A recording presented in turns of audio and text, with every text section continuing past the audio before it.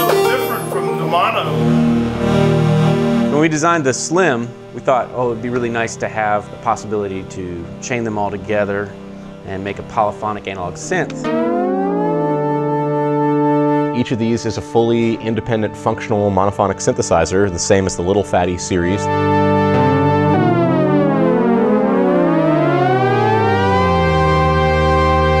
We've got these four units as four extra voices controlled by the Little Phatty, which is our, our first voice.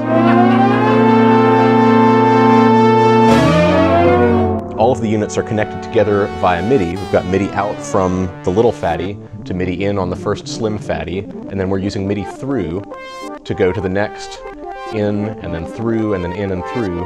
And so all of these units are on the same page here and all controlled via MIDI coming from the master controller.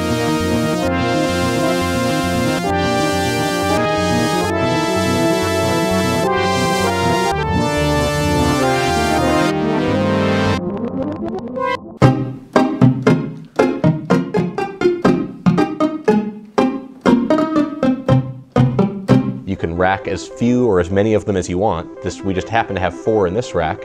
You can chain together one with one Little Phatty synthesizer, or you can chain together up to 16 units. And that applies to the Little Phatty, the Slim Phatty, the Voyager, and the Taurus as well. All share this polyphonic chaining ability.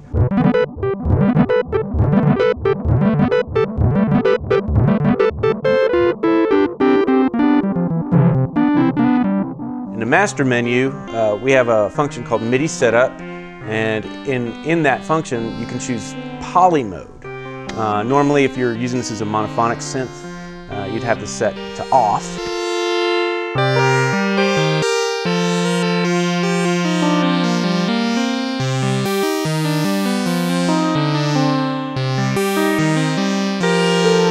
And now it becomes very easy to have multiple voices and just one keyboard.